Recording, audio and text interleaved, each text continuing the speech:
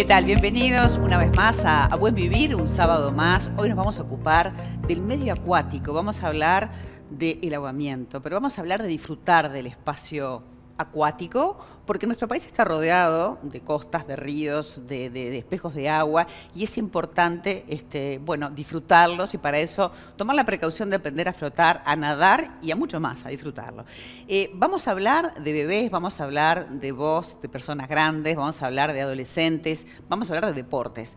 Y la primera entrevistada que tengo hoy es Guadalupe Herraiz Vera, ella es instructora instructora de lo que se llama ISR, que en inglés es Infant Swimming Research. Ella se formó en Estados Unidos y en realidad lo que hace Guadalupe es ayudar a que esos bebés eh, no les pase lo que la estadística tremenda hoy tenemos, que la primera causa de muerte, de, digamos, de muerte en bebés menores hasta cuatro años es el ahogamiento. Se puede prevenir, se puede estar atento, se puede preocupar, porque todos nos ocupamos de nuestros hijos, pero debe ser terrible que te suceda, debe ser terrible superarlo. Guadalupe, gracias por estar. Gracias María por la invitación. Es muy importante, la OMS dice que es desatendido este tema, que además se puede prevenir y que es urgente, ¿no? Es urgente este, tenerlo en cuenta para justamente disfrutar del agua, disfrutar de los hijos y que los hijos aprendan a disfrutar del medio acuático. Sí, em, en sí es algo que necesita de una constante actualización y es como un trabajo que debe de, llevarse adelante casi que constantemente porque la franja de uno a cuatro años eh, nacen niños en muy corto tiempo, pero nacen padres también. Entonces el mensaje debe de ser eh, continuo, ¿no? De educación. Ahora uno habla de repente de la playa o de las piletas y en realidad el 85% de estos bebés, este, los ahogamientos son vestidos, son algo imprevisto. Y puede ser también en tu casa puede ser en poquita agua. A veces es como un mito, ¿no? Le parece que tiene que, que, esto sucede en lugares donde hay mucha cantidad de agua. Ese es el primer mito, digamos. Sí, el tema es el enorme desconocimiento que existe sobre cómo, e, cómo debe de ser el relacionamiento de los niños pequeños y los diferentes volúmenes de agua. O sea, siempre trato de dar como, eh, más allá de las destrezas que puedo enseñarle a los niños, me, me, ocupo más de dar un mensaje a estos padres de que puedan entender cuáles son las diferentes etapas evolutivas del crecimiento del niño para que puedan comprender cómo ellos conciben el mundo que los rodea. De ahí eh, la información sobre la prevención eh, es fundamental. No saben que es muy silenciosa, no saben que los baldes hay que vaciarlos, lamentablemente, o sea, son muchísimos los casos de, accidentes eh, que son domésticos de uno a cuatro años por lo general, que suceden en, muy poquita agua, ¿no? Y también dispositivos de flotación, que no son salvavidas y a veces pensamos, nos confundimos de que con eso el niño, un chaleco de lancha es una cosa, pero otro tipo de dispositivo no es que el niño lo deja flotando y te vas. Y claro, todos nos vamos a ocupar de nuestros hijos, pero lo que sucede en estos casos, lo más terrible es no estaba contigo, no estaba contigo. Siempre tiene que haber alguien pendiente y saber que esa persona está haciéndose cargo, porque son accidentes, son situaciones que nadie, va a querer que sucedan, ¿no?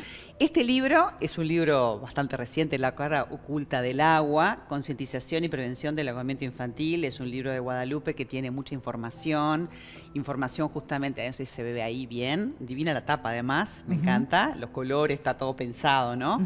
Hay un montón de fotos, hay un montón de información y bueno, es una, lectura obligada si tenés bebés eh, y no solamente pensando en que ahora estamos eh, cercanos, al verano, porque estábamos hablando de que los accidentes domésticos suceden y que yo leía en el libro 15 centímetros de agua nada más es suficiente para que se ahogue un bebé.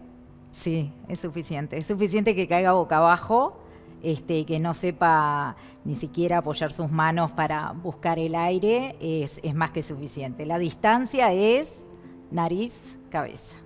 Y eso que venimos de un medio acuático, ¿no? Porque después del útero materno, los bebés quedan como con esa sensación de, estar en el agua.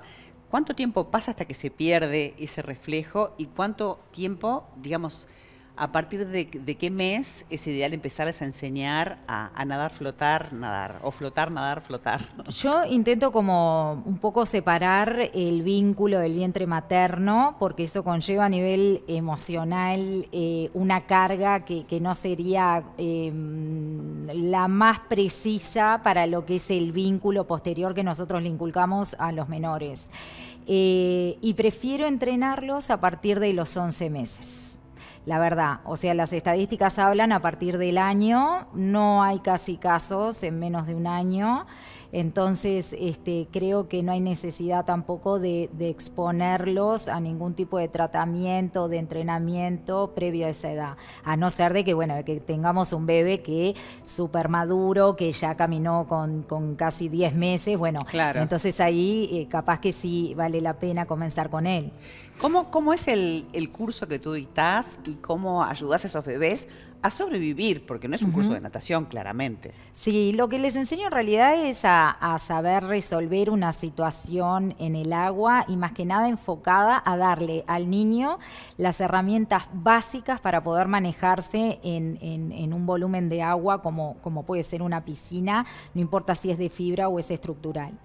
En lo que más hago hincapié es en educar a los padres. Eh, o sea, los niños me los pueden traer y demás, pero a María no dedicarme a esto, honestamente. O sea, le hago mucho más hincapié a que los adultos responsables de estos niños comprendan la gravedad de la situación de lo que es tener una piscina en casa, eh, con niños pequeños para que tomen eh, los recaudos necesarios para evitar la exposición a accidentes. Bueno, hablando de accidentes, sé que desde el 2018 hay un proyecto de ley en el que se involucró un diputado eh, blanco del, Frente Amplio, estaba Abdal y estaba la, doctora Lustamer, o sea que en realidad había como, como una participación y un interés, pero no sé cuál es el motivo por cual no se avanzó en esto, este, porque sería interesante tener una legislación en varias cosas que pueden ayudar este, en prevención. Por ejemplo, yo sé que cercar las piscinas sería lo ideal, pero bueno, ¿cómo, ¿cómo vas a cada casa y ves que está así? Pero digo, habían como un montón de iniciativas como para ayudar en estos aspectos. Eh, habían iniciativas, las hay, este, por suerte tengo este, el reconocimiento de, del INAU como este, de interés institucional en el libro. Eso habla de, que ellos, o sea, pudieron ver el, el, material que se podía brindar a la sociedad. Hay cosas en el sistema que ya está funcionando y que se puede adosar para educar a las familias y estoy totalmente convencida de que esto es un tema de eh, promover la prevención y la educación acuática desde lo que es la primera infancia, arrancar ahí. Este, creo que ya hay un sistema montado que es de una forma muy sencilla, se puede eh, acompañar a lo que ya están dando sin darle al Estado mayores este, adversidades, digamos, y que es totalmente viable la educación por sobre todo. Claro, claro que sí. Lo importante es la concientización, que es lo que vos planteás en el libro, el contacto del bebé o del niño con el agua, que es algo presentero. Además, el, contacto del papá con el hijo también genera un vínculo divino. Digo, yo sé que en los cursos que, tú das, y ahora me vas a contar cómo, cómo los armaste, este, se logra eso. Lo importante es que el, bebé, si se cae por diferentes motivos, pueda flotar porque yo leía que solamente 21 segundos alcanzan para dañar eh, neuronas. Sí, básicas. Es muy poco tiempo. 21 segundos vos decís, bueno, eh, es una Puede pasar que un niño pase más segundos, por supuesto, pero sí está documentado clínicamente que puede empezar a existir daño cerebral. Sí, es así. ¿Cómo, te metiste en esto? ¿Qué te pasó a vos? Porque hay una historia muy linda ahí.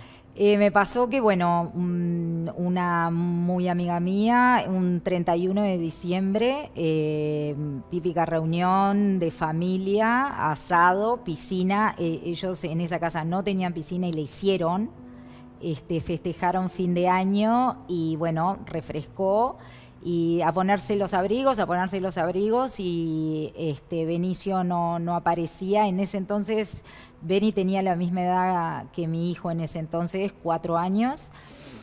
Y bueno, no había en, eh, hoy hace ya 16 años del accidente, pero, mm, perdón, 11, pero en realidad en ese entonces cambió mucho la concientización, o sea, no era tan común capaz tener eh, tantas piscinas, o sea, no había un mercado tampoco tan abierto en ese sentido. Hoy cualquier persona puede adquirir una piscina, no importa de qué material.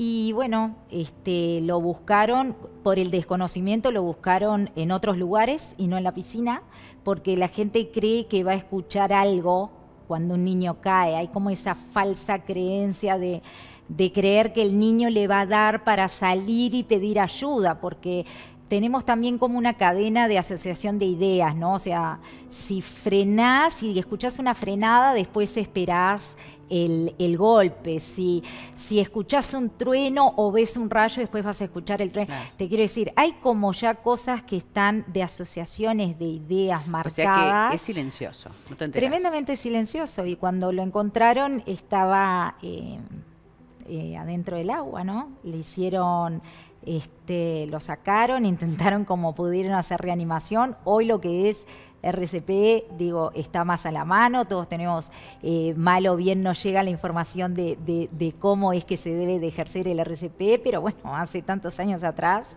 se hizo lo que se pudo, vino la emergencia, doble inyección de adrenalina al corazón y bueno, hasta el día de hoy Benicio eh, vive con daño cerebral. Claro.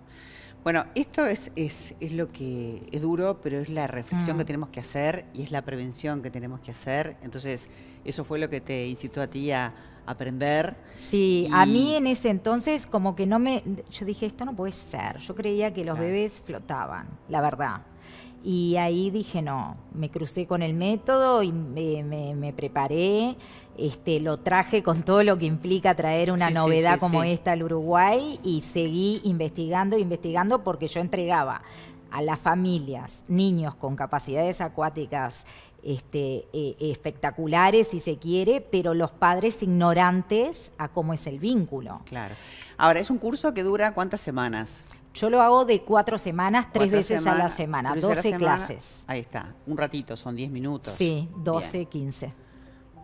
Es importante invertir ese tiempo para, para quedar tranquilo. No quiere decir que te vas a desatender, pero sabes que por lo menos ese flotar, nadar, flotar, contacto con el borde lo va a tener. Totalmente.